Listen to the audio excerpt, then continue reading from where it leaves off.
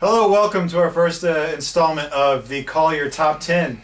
This time around, we're going to talk about our top 10 catchers of all time, who we think, uh, each of us, who we think uh, are the best of the best of all time in baseball. So here we go.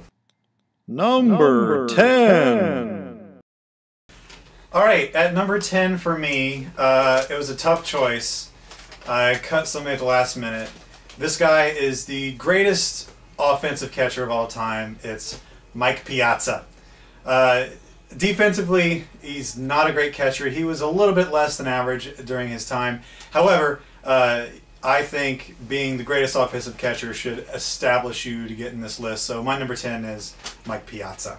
I like the choice, but uh, one of the things about Piazza, you got to consider what your criterion for your top 10 are. You know, what is our criteria for the top 10? Are we going by all offense? Are we going by all defense? A combination of both? Do we like them? We dislike them? And Piazza, I, I like the choice in the top 10. I just think you're a little low. Justin, what do you got? I'm right on cue. Piazza, number 10. All right. Hey! Good I got you there.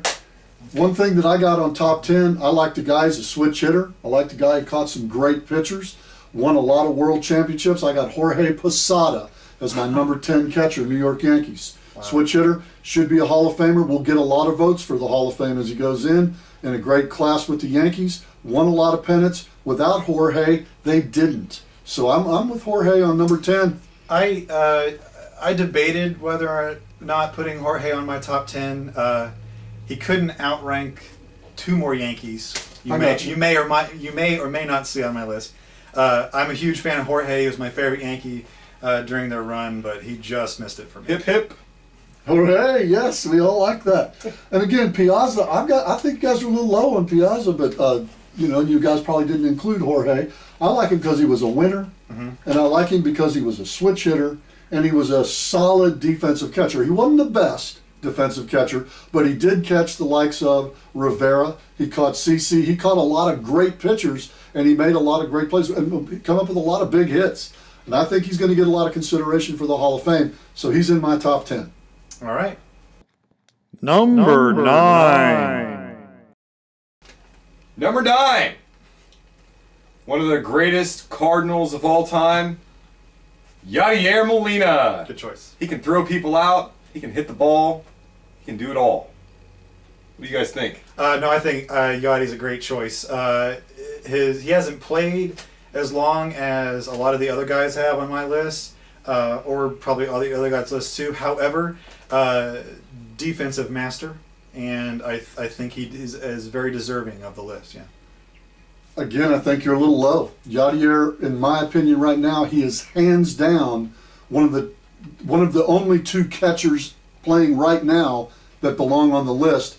Yadier is, with just looking at it this way, without Yadier Molina in the lineup, the Cardinals are a losing ball club, and they are in the playoffs every year for the past seven years because Yadier Molina is the catcher. I think you're a little low, but he definitely is in the top ten. Uh, my number nine uh, is a guy that for the first half of his career, uh, he was an undoubtedly Hall of Famer. He's won an MVP. He was an All Star uh, 14 different times. And he's probably one of the greatest arms in the history of the baseball. My number nine is Ivan Rodriguez. Pudge, good Uh, choice. the only reason I put him at number nine not higher, though, is because the second half of his career, uh, he kind of went on a downhill slide just a little bit. Not a great offensive guy at the end of his career. He started to shrink a little bit. Yeah. He's right. Well, the the whole thing that he's got this little thing hanging over his head, and that's one of the reasons he's not a Hall of Famer right now. He's been suspected. I'm not going to say he's done it, but he's been suspected. And I had an umpire, a major league umpire friend of mine, that said the major league players affectionately called him the incredible shrinking man after the 2002 crackdown on in, in the major leagues. Uh, his numbers speak for themselves. Right. Tremendous catcher. I go at number nine with somebody that was during my uh, when I was about your age. I thought he was one of the only guys that that uh, fought Johnny Bench for top honors during his day, and that was Gary Carter. I think Gary Carter is is there. The kid got a world championship, played for a few different teams. Tremendous catcher, and he's a Hall of Famer. I got Gary Carter at number nine. Uh, Gary Carter, excellent choice. Uh, Uh, for a long time, I think in his career, he was highly underrated. And I think it's taken more years uh, since his induction to the Hall of Fame where people have realized just how good Gary Carter was. Like the older I get, the better I was. pretty much. Kind of like that, Gary Carter. Yeah. Gary Carter. Number, eight. All right, we're down to the Elite Eight. And at number eight, I have the second best active catcher playing for the Giants. Five years in the big leagues, almost six. The guy's got an MVP, three rings, a Rookie of the Year, a batting championship, and he is above league average on throwing runners out. Hardly any pass balls, does see a few wild pitches, handles a great pitching staff in San Francisco. Buster Posey at number eight. Uh, that was a tough one for me. Uh, I'll tell you right now, he didn't make my top 10 uh, just because I don't think he's played long enough. However, I mean, you can't deny the MVP, the batting title, the three World Series. I know you can't give that up. However, the reasoning that I chose not to put on my list is that Buster Posey plays first base, and I think more in his career, when he gets to the end of his career, he's going to start being more of a first baseman. And his catching career, like he might not get as many seasons as a catcher than some of these other guys did. I got to throw one more stat at you about Buster Posey. At this time in his career, and we are at August the 16th, 2015, at this time in Buster Posey's career, he has a higher OPS plus based upon ballpark than any other catcher in the history of baseball. I was close. I was close to putting him on there. Do you agree with Buster Posey? Actually, uh, Buster Posey is my number eight choice. Buster, Posey! Buster, yeah. yeah. All You got any other reasons? Because he is just so gosh darn cute. Well, there you go. Commercial star too. Well, my number eight uh, has been mentioned already. You think you know who it is? Who you got? Uh, Cardinal, great so far. Yadier Molina. Uh, I think it's been seven or consecutive Gold Gloves so far. Uh, I do put him on there based on from about 2007 or eight to now or so. Like his first few years in the league, he had to get his feet wet a little bit with the offense. But if you look at Yadier uh, for the past four or five seasons, he's been one of the best hitting catchers in baseball, if not for Buster Posey. Uh, however, defensively, nobody compares or is even in his league. He is 15 percentage points above the league average when it comes to catching runners stealing. Uh, so there's nobody. Uh, actually, excuse me, it's 16% better, and that's the highest percentage on my list. So Anybody. anybody. So like he is probably without a doubt. Well, I guess not maybe without a doubt, some speculation, but uh, without a doubt, like best defensive catcher our day, maybe in the past 50 years. Yadier Yadier Molina. Can't stop there, man. Uh, Yadier's really, really good. Yeah. And without, like I told you, without him, the Cardinals have a below 500 record with the team that they have now. Tremendous choice. Number, seven. All right, my number seven uh, played for one of my all-time favorite teams, the Philadelphia Athletics. Played for the Detroit Tigers as well. Uh, only had about a 13-year career. Was cut short uh, due to getting hit in the head. Um, Mickey Cochrane. Uh, now, defensively, uh, he was great defensively. Uh, he was a little bit better than average. Uh, didn't throw out runners as well as people in his day. He was at negative 3% compared to the league average. However, he had two MVPs and he won three World Series, and his OPS was beyond compared to any catcher of his time, or probably any catcher ever. Uh, Mickey Cochrane was a lifetime 320 hitter as a catcher. Uh, just a leader team like Con- uh, under Connie Mack, and I don't know who the manager was at Detroit at the time, but uh, Mickey Cochrane, one of the best offensive catchers in the history. I'll put him up in comparison to Mike Piazza. Not enough home run numbers, but just batting average wise, OPS wise, uh, Mickey Cochrane is my number seven. So you got I went up to Brooklyn with the whole Jackie Robinson thing going down and picked up a guy named Roy Campanella for my number seven catcher. Excellent choice. Now this guy was just as good playing in the major leagues as he was playing in the Negro leagues, and he dominated both really. He could throw people out. He could hit a ton.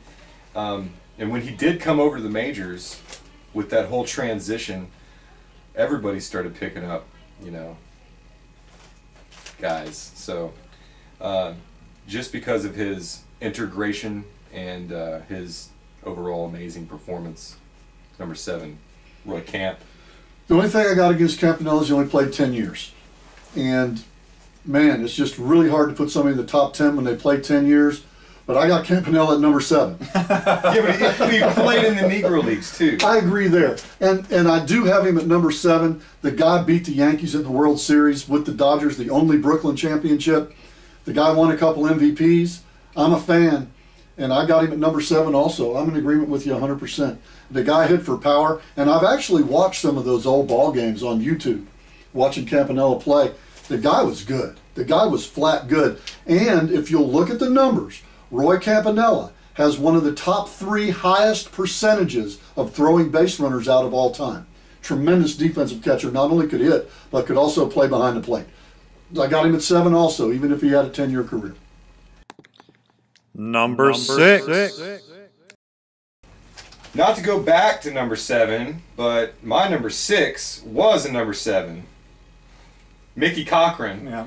Um, he was just, you know, amazing. 320 hitting catcher. Yeah, he said it all. So, Mickey Cochrane, number six. Uh, that's a really good choice. Uh, what's your number six? I got Piazza at number six. Wow. I let offense Wow. overshadow defense.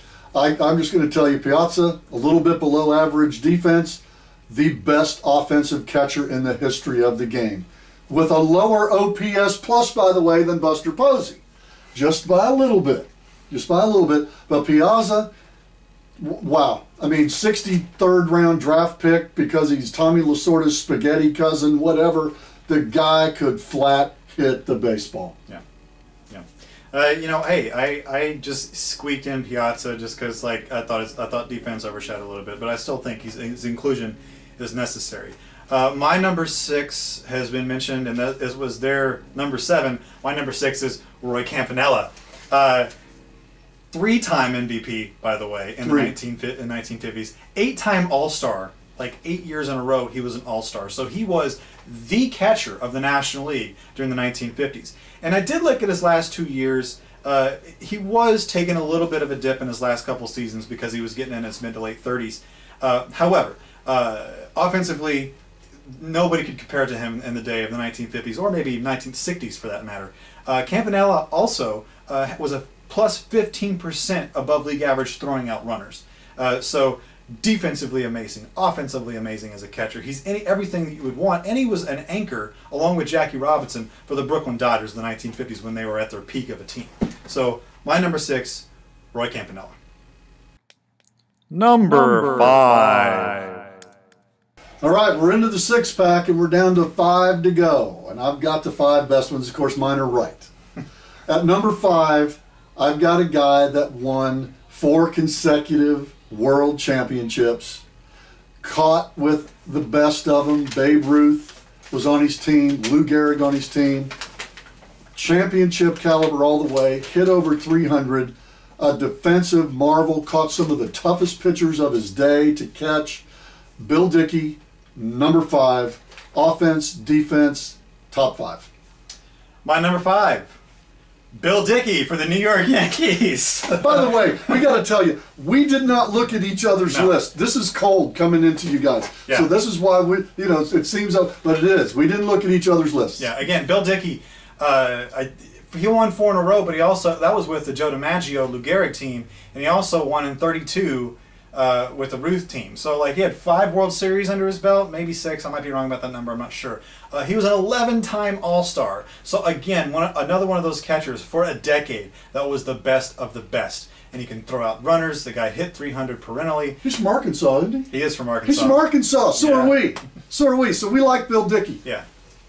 What's your number five? Five. I have a guy uh, that hey, I had to go way back in time for this guy. He's so old he invented shin guards. His name is Roger Bresnahan for my number five catcher. He could steal bases. He could lay down bunts. He could do everything that you don't expect a catcher to be able to do. He was a real good athlete, and uh, he was the premier catcher of his day. Um, McGraw said he was the best. Roger Bresnahan, the guy invented shin guards. Come on, he's got to be on the list. He was on my short list, uh, meaning that I, I was really close to choosing him. The only thing that kept me from putting him in my top ten was just amount of time in the in the big leagues.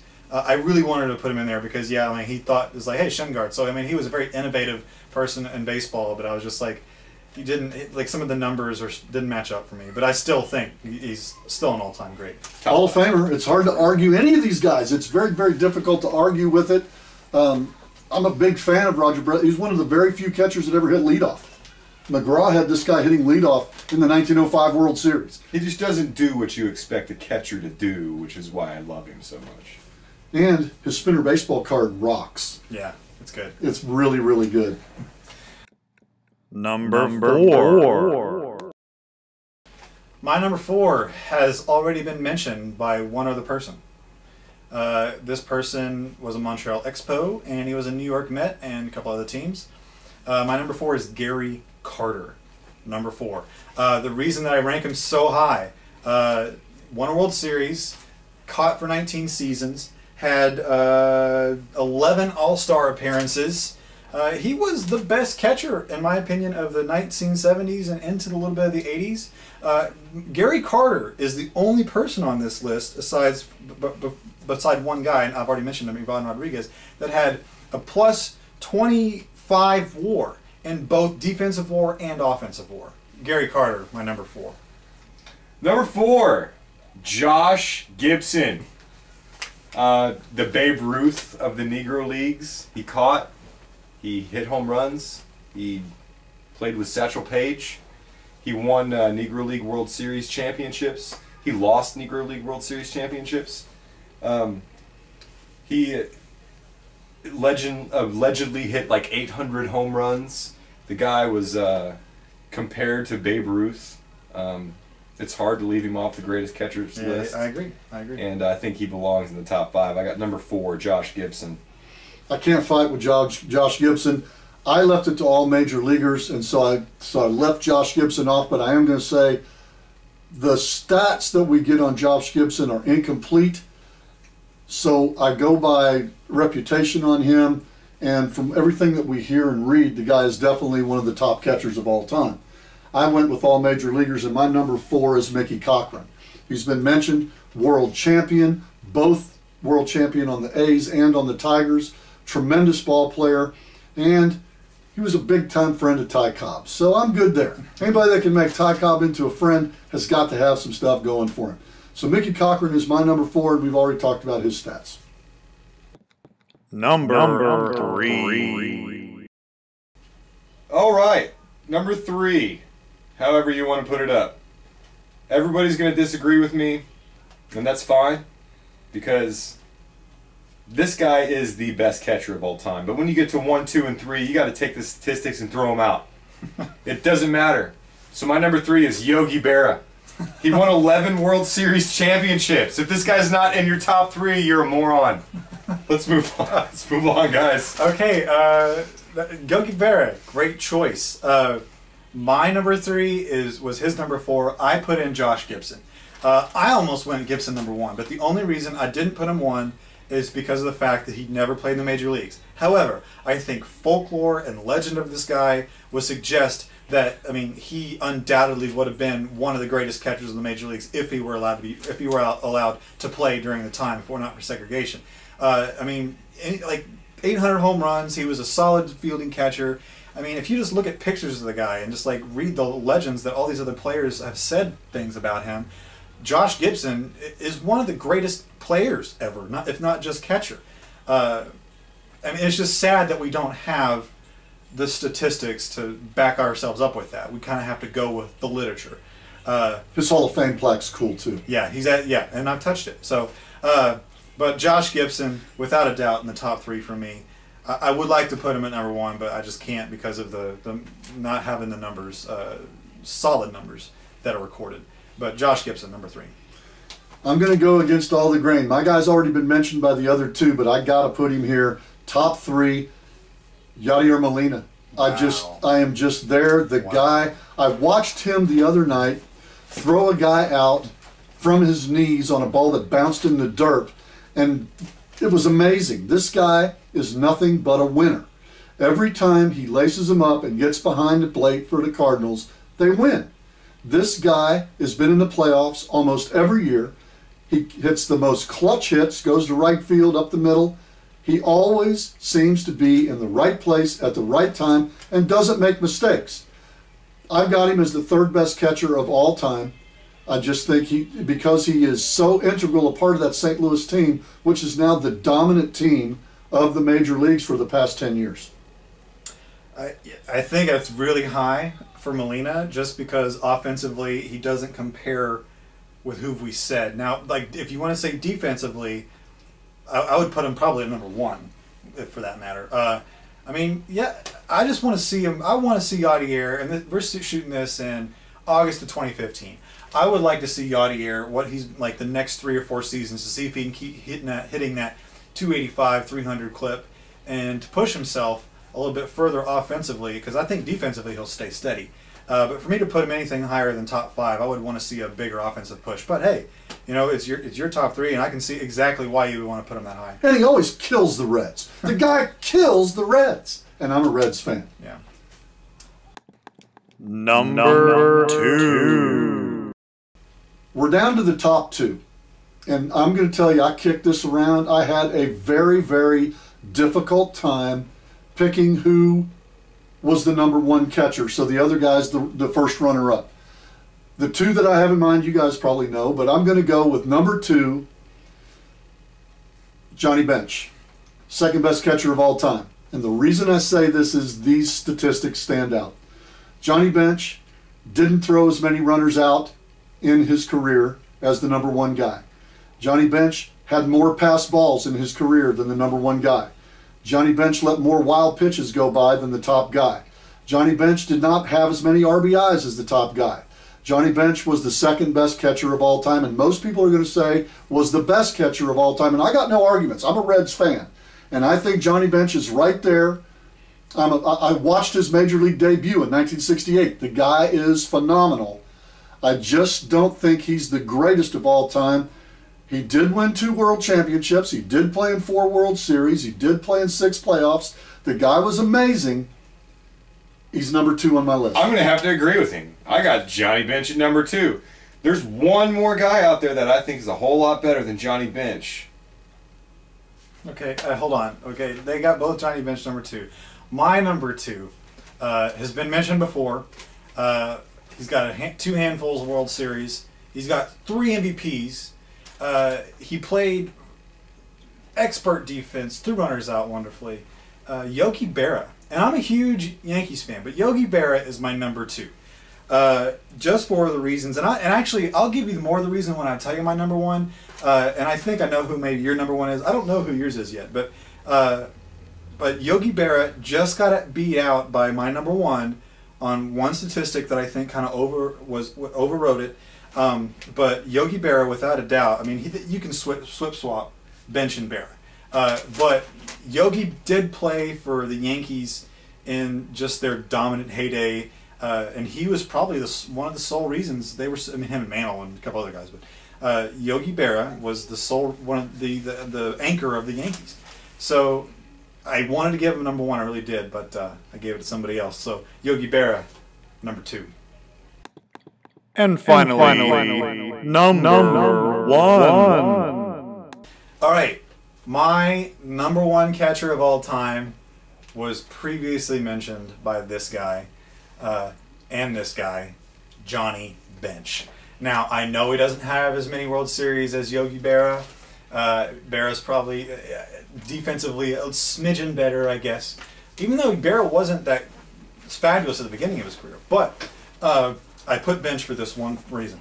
He was 1.5 WAR average better per season than any other catcher on this list. Or actually, just Yogi Berra. My bad. He averaged five WAR a season for a catcher. There's there's hardly anybody near that. The closest guy on that list was Mickey Cochrane or Mike Piazza or Gary Carter. The other guys were a, a, a game and a half behind him. So like for his era, he was so dominant and way better than everybody else and, and during his era that I had to give him number one. Now Yogi Berra's uh, counterpart was Roy Campanella. Johnny Bench did not have a counterpart. He was the best catcher of his time. Nobody compared to it. Two MVPs, two World Series, uh, ar- arguably probably one of the best teams of all time, the '75 Reds. Uh, I mean, you can argue it, but bench, I think, is the best. And I, I'm a Yankees fan. I wanted to pick Berra, but I went for bench.